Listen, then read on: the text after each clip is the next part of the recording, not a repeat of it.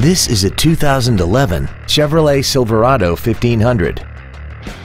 This truck has a six-speed automatic transmission, a 5.3-liter V8, and the added capability of four-wheel drive. Features include traction control and stability control systems, air conditioning, cruise control, tinted glass, dusk sensing headlights, an anti-lock braking system, side curtain airbags, heated side view mirrors, and this vehicle has less than 19,000 miles. This Chevrolet has had only one owner and it qualifies for the Carfax buyback guarantee. This automobile won't last long at this price. Call and arrange a test drive now.